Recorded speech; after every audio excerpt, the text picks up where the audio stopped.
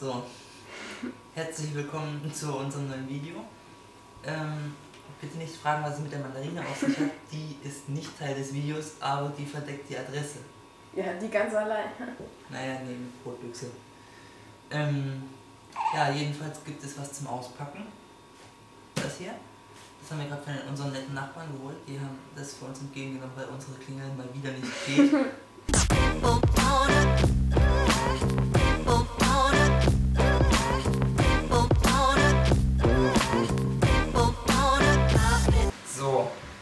los hier. Jetzt seht ihr ja auch, was es ist. Hm, Im Gegensatz zu mir. Ich sehe gleich nichts. Wieso? Ach so. Nee, wegen dem, was da oben abgebildet ist. So. Erstmal das Siegel durchtrennen hier. Da wir jetzt geht nicht auf den Karton fallen.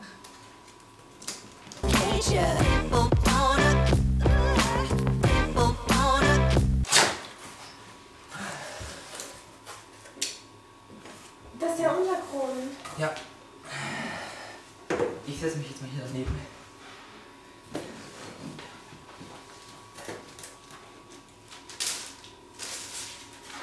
Ja, das ist. Das ist, wo ist hier so eine Kante? Weiß ich nicht. Jedenfalls ja, wenn, ist wenn das. da Wasser drauf drauf, dass es da nicht runterläuft. Sondern Nee, die ist aber, glaube ich, ausgebaut. Ach nee, ist sie nicht. Nee, ich dachte, die geht nach oben, aber die geht nach. Ich weiß nicht, wo sie geht, glaube ich. Die geht hier nach innen, da nach außen. okay. Hm, Es wird schon stimmen. Hat es auch Näpfe? Keine Ahnung. Oh, ich dachte, das kommt sonst was. Das ist cool gemacht. Was ist das denn? Eine Anleitung. Das ist richtig cool. Also, wie ihr jetzt hier schon seht und wahrscheinlich auch am Titel seht, es geht um einen Staubsauger. Das hier ist der Roborock S50, also der weiße. Wie heißt der Schwarz? Der schwarze heißt S55. ah. Ähm, an sich haben, unterscheiden die sich wirklich gar nicht, außer von der Farbe. Ja. Auch nicht vom Preis? Mm, doch. Bäh. Oh ja, China.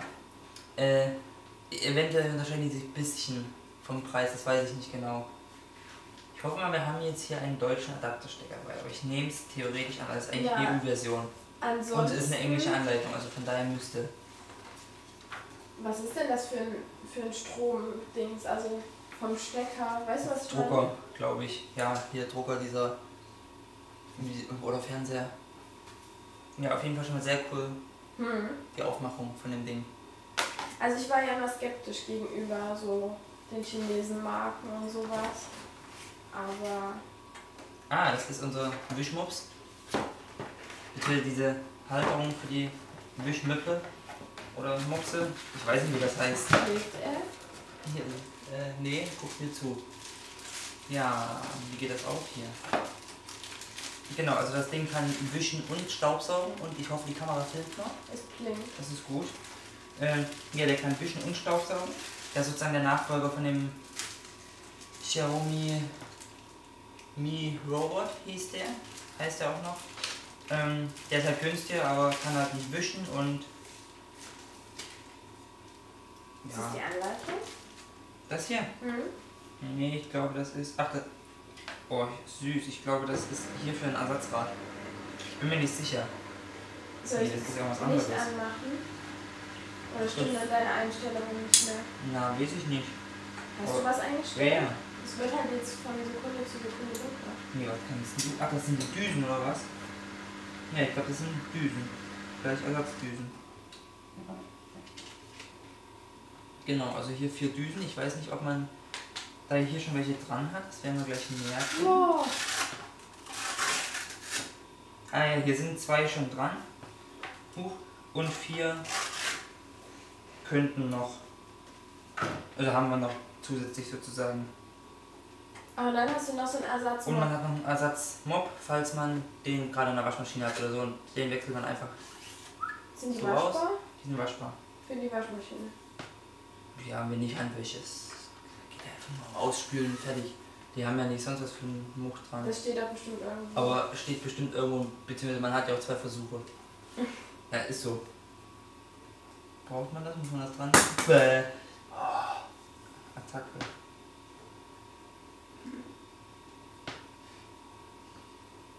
Okay, also wichtiger Hinweis, bitte den Wassertank nicht auf dem Teppich benutzen.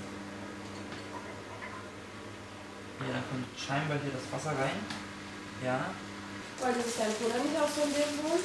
Ja, eventuell. Oh, der ist aber. Ja. Cool. Hä? Wo fängt denn der Beutel an? Da.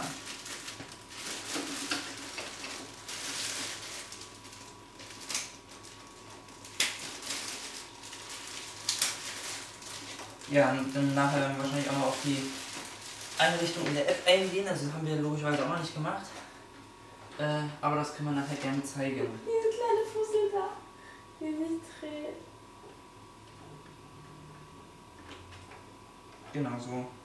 Achso, ihr seht das gar nicht, was ich hier mache. Doch, gerade noch. Echt? Gerade noch. Okay. Ja, jedenfalls. Äh. Ja, kann man. Halt. Hier, indem man. Ja, gut, ist eigentlich alles selbst erklären. Ja, das sind die federnden Räder. Mhm. Der hat jetzt halt nur eine so eine Bürste. Gibt auch welche mit zwei, also nicht von der Firma, aber manche von solchen Robotern haben halt zwei solche Bürsten. Macht auch nicht mehr Sinn, weil der fährt trotzdem nur sozusagen von rechts nach links. Der fährt zum Beispiel an der Wand so entlang und nicht andersrum. Das heißt, er braucht seine Bürste irgendwo auf der rechten Seite. Und die Er hat linke ja hat da aber- keinen Mehrwert. Aha. Das heißt, er dreht dann rum, fährt in die andere Richtung und macht dann. Also das macht keinen Unterschied. Deswegen reicht auch die eine. Ja, jedenfalls selbst erklären, diese zwei Pfeile zusammendrücken, kann man hier aufmachen, Bürste raus, sauber machen. Das ist, ist das auch so eine, so eine selbst oder so eine angetriebene Bürste? Bestimmt. Halt. Ja, dann halt darauf achten, hier hinten einhaken wieder. Reinlegen. Da schnarcht jemand. Deckel drauf. Fertig. Genau. Keine Schutzfolien scheinbar. Wenn ich das richtig sehe. Ja, der Staubbehälter ist hier drunter. Oh, das ist cool. Das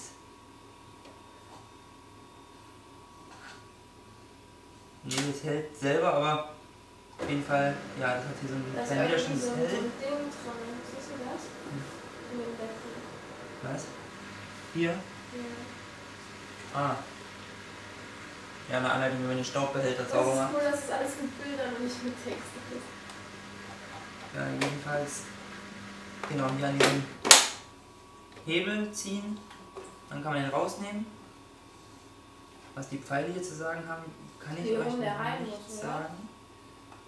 Ja, das kann sein. Da geht der Staub rein. Ich weiß nicht, ob man nur, nur noch zieht, dann könnt ihr vielleicht nochmal die Anleitung angucken. Achso, man klappt das runter. Man kann bestimmt auch irgendwo dran ziehen oder drücken. Ja, also das ist auf jeden Fall der Filter, der ist auswaschbar. Äh, ja. Papierfilter, soweit ich weiß. Sieht man das? Wahrscheinlich nicht. Doch, man, also Man den Filter hat man gesehen. Gut. Wie die Klappe hier jetzt aufgeht, weiß ich noch nicht. Achso, mit Gewalt, okay. Ja, also aufklappen, auskippen, Kann man ja auch auswischen oder so. kann man auch auswischen, ja. Und dann fertig. Achso, wenn man an einen von diesen Pfeilen drückt, geht es scheinbar leichter. Ja, genau, dann kommt der ganze Spaß wieder rein und fertig.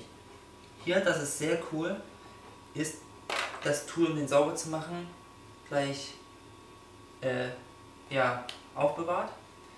Ja, auf jeden Fall dieses Tool ist echt cool. Man kann einfach zum Beispiel das Ding hier auskehren ein bisschen mit der Bürste oder mit diesem kleinen Messer. Da weiß ich nicht, wie scharf das ist, aber wahrscheinlich genug scharf, scharf genug.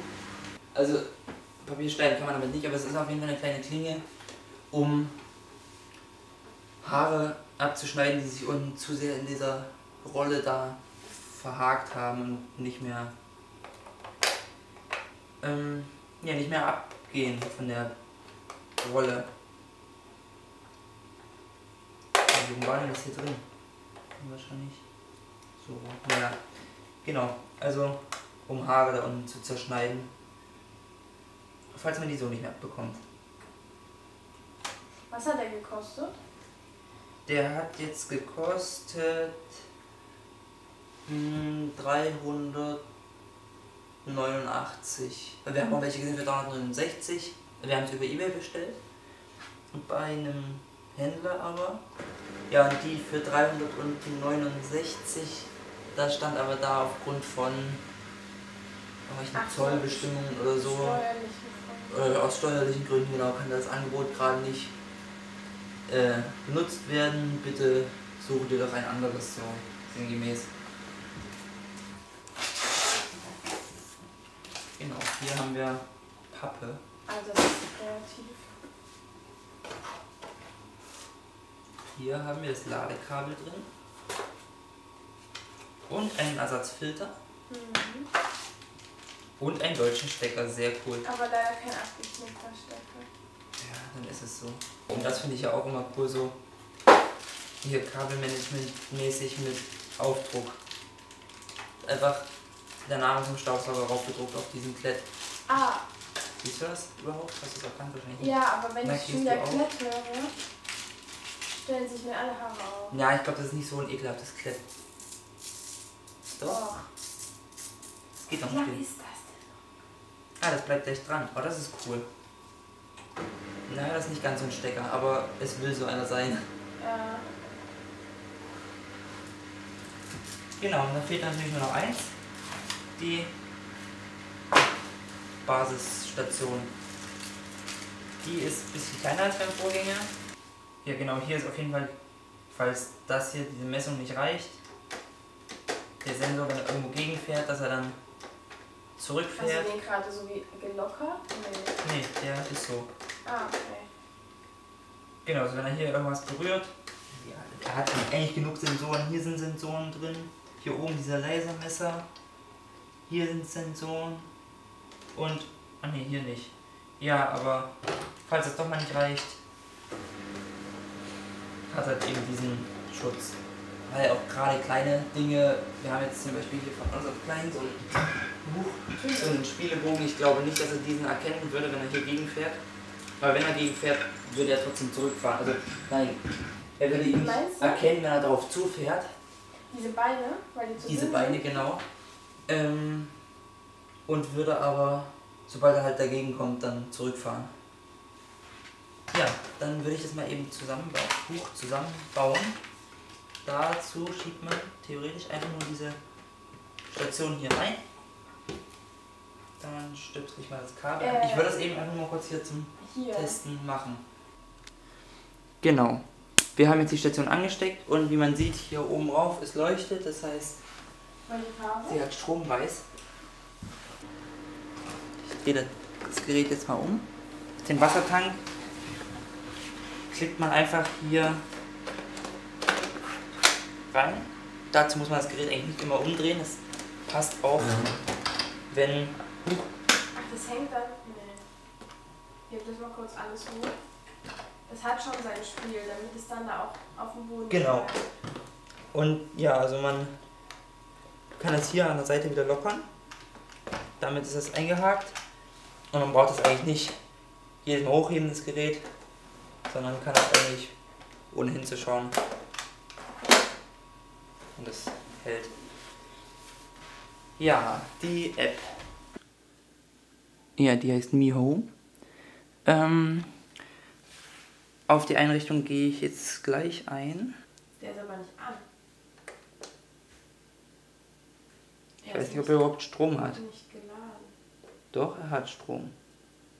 Redest du jetzt mit uns? Ach du Scheiße. Der muss erstmal nachdenken. Dann denke. In der Zeit, was haben wir denn? Ach so, Und dann hat Guten er Tag. gesungen. Jetzt, guck, jetzt kannst du irgendwie. jetzt kann ich. Wenn ich es jetzt nicht über 4G runterlade, sondern über unser WLAN, dann wird das auch noch besser. Verkacke. So, jetzt müsste er. Move back to the dock. Und das Englisch ist ganz gut. Ja, er saugt auch schon ein bisschen. Ja. dreht sich jetzt auch der Ventilator. Nein, ich bin nicht deine Ladestation. Jetzt misst er gerade den Raum aus. Ich dachte, der willst du leider Ja, macht er. Der sortiert doch erstmal noch. Der guckt erst dreimal. Jetzt ist er zu weit. Ach nee, jetzt dürfte es passen. Nee, jetzt noch ein Stück zurück. Du brauchst nicht um deine Wie rum Basis was muss der da? Also, Ich glaube mit den Knöpfen nach vorne. Der peilt die erstmal noch ganz genau an. oh süß.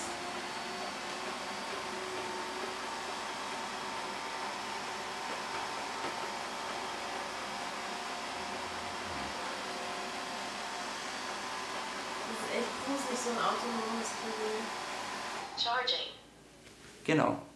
Wie gesagt, oder wie er gerade gesagt hat, er lädt jetzt erstmal. Das, so sieht die App aus.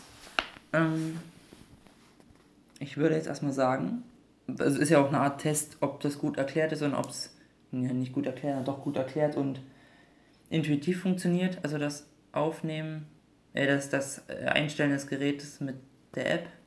Deswegen probiere ich es einfach mal, ohne eine Anleitung gelesen zu haben. Ich klicke einfach mal auf Gerät hinzufügen. Ich muss jetzt ein Konto erstellen. Ja, es funktioniert. Ich bin jetzt bei meinem Zuhause. Jetzt steht da Zuhause von unter meine komische ID. Ja, meinetwegen. So, jetzt klicke ich einfach auf Gerät hinzufügen. Bluetooth einschalten. Ja, meinetwegen. Hä? Wieso das denn? Nur zum ersten Mal den Wahrscheinlich, dass er das erstmal findet, damit da braucht ja irgendeine Verbindung zum Gerät.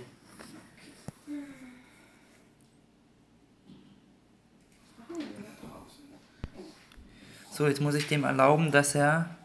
Ich hab's vergessen. Berechtigung. Ja, mach einfach alles, hier ist mir bewusst. Ich weiß nicht, ob das jetzt das war, aber es wird wahrscheinlich das gewesen sein. Genau, ich habe keine Videokamera, ich habe keine Beleuchtung. Ich habe äh, Autogeräte. Nee. Badezimmerelektronik ist das, okay. Das ist der Roborock.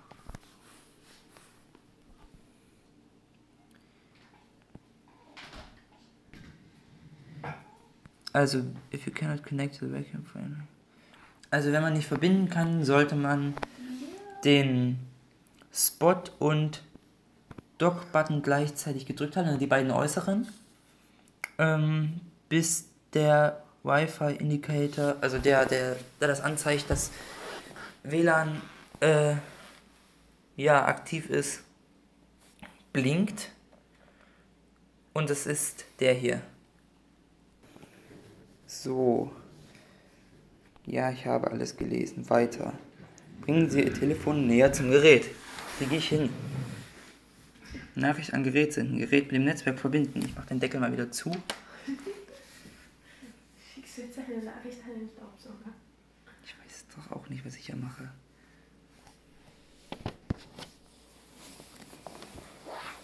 So, Initialisierung, Erweiterung erfolgreich installiert, verbunden mit dem Netzwerk, alles fertig. Wählen Sie den Standort des Gerätes. Letztendlich, ach du Scheiße, nee, das will ich doch jetzt noch gar nicht. Gerätename. Den können wir bestimmt auch noch später ändern. Standort des Gerätes ist aktuell die Küche. Äh, aber das können wir einfach nachher alles mal zurücksetzen oder ändern, bestimmt. Hinzufügen. Verknüpfung des Stadtbildschirms. Jetzt nutzen. Wie das Gerät funktioniert. Unter Mehr Produkthandbuch finden Sie weitere Produktvideoanleitungen. Okay. Das Video jetzt gucken? Bestimmt.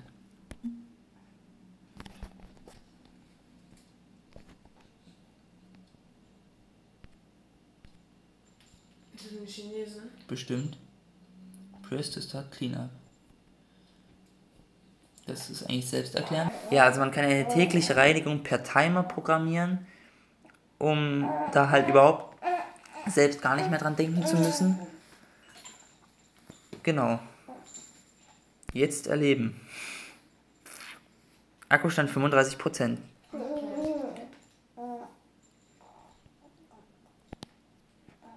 EU haben wir. Okay. Ja, ja, einverstanden.